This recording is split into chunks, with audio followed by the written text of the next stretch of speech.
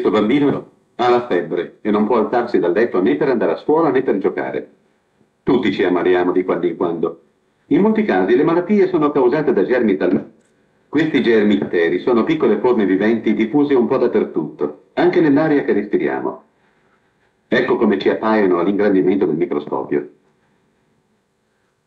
Fortunatamente il nostro organismo ha diversi mezzi per difendersi contro i batteri patogeni, che sono quelli che provocano le malattie.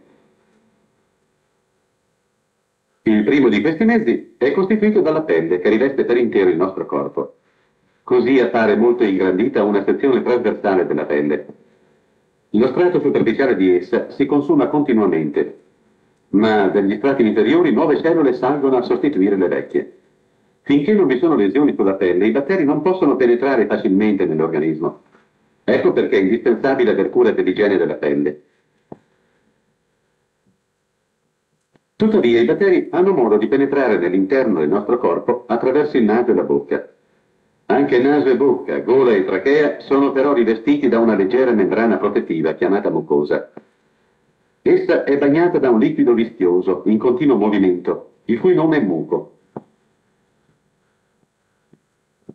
Il disegno mostra come le impurità e i batteri vengano catturati dal muco e vi restino invischiati fino al momento della loro espulsione dal corpo.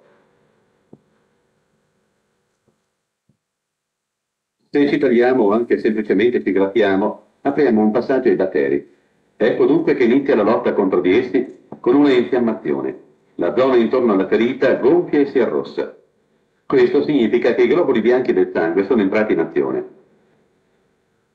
Passando attraverso le sottili pareti dei piccoli vasi sanguigni, essi raggiungono il tessuto ferito e attaccano i batteri. Al microscopio potete osservare come i germi patogeni sono aggrediti e distrutti dai globuli bianchi. Essi costruiscono addirittura una barriera e con l'aiuto di altri umori presenti nell'organismo formano una rete intorno agli assalitori. L'infiammazione va quindi gradatamente scomparendo fino alla guarigione completa. Un altro metodo di difesa è costituito dal sistema linfatico, Supponiamo che un chiodo infetto punga la nostra pelle introducendo batteri nel corpo. Un liquido chiamato linfa convoglia i germi nei nodi linfatici, una specie di trappola composta di moltissimi canaletti tappezzati da milioni di globuli bianchi. Questi entrano in funzione e gradatamente distruggono i batteri.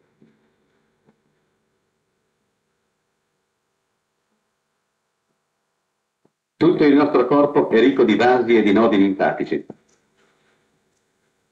Ve ne sono ad esempio nel collo, nel torace, attorno allo stomaco e all'intestino. A volte ci si ammala perché i batteri riescono a superare tanto la prima quanto la seconda linea di difesa. Però l'organismo ha ancora altre possibilità di lotta.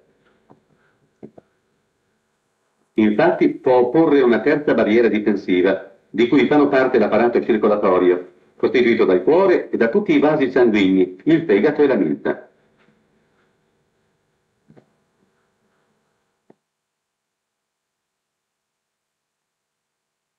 In questo disegno potete osservare il sangue mentre circola in un vaso sanguigno sano.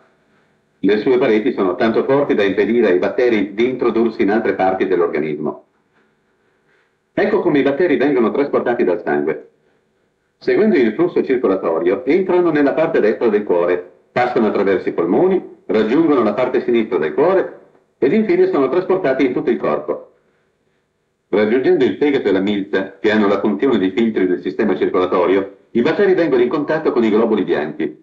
Infatti in queste due ghiandole il sangue scorre lentamente attraverso molti stretti passaggi tappezzati di globuli bianchi, i quali attaccano e distruggono i batteri. Questa è la ragione per cui consideriamo il sistema circolatorio come terza barriera difensiva del nostro organismo. Ma ne esiste anche una quarta. Spesso, dopo che siamo stati ammalati, il nostro sangue contiene sostanze chimiche che sono state prodotte dall'organismo per combattere i germi che hanno provocato la malattia. Queste sostanze si chiamano anticorpi. I medici in diversi casi stimolano il nostro organismo a produrre anticorpi mediante la vaccinazione, che si effettua iniettando una determinata dose di germi. Questa dose, pur essendo troppo debole per farci ammalare, è sufficiente per produrre anticorpi nel sangue. Per comprendere meglio, osservate il disegno. I punti neri sono i germi e le figure grandi rappresentano i globuli bianchi. In questo caso i globuli bianchi non si dimostrano capaci di attaccare i germi e distruggerli.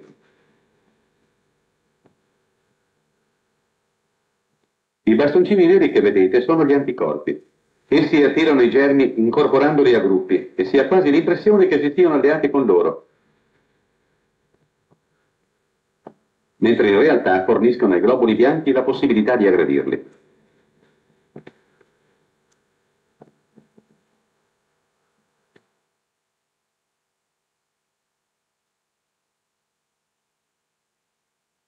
Gradatamente i globuli bianchi distruggono i germi, mentre gli anticorpi rimangono nel sangue pronti a proteggerci dagli eventuali futuri attacchi della stessa malattia.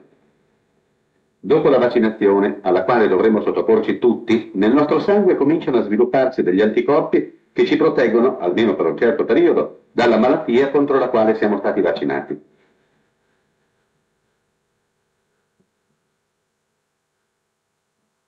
In questo film abbiamo visto quali sono i principali mezzi di difesa del nostro organismo contro le malattie infettive, che sono quelle provocate dai batteri.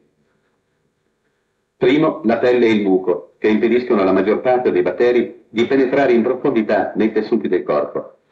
Secondo, il sistema linfatico, che cattura quelli che sono riusciti a superare la prima difesa. Terzo, il sistema circolatorio, che filtra i germi.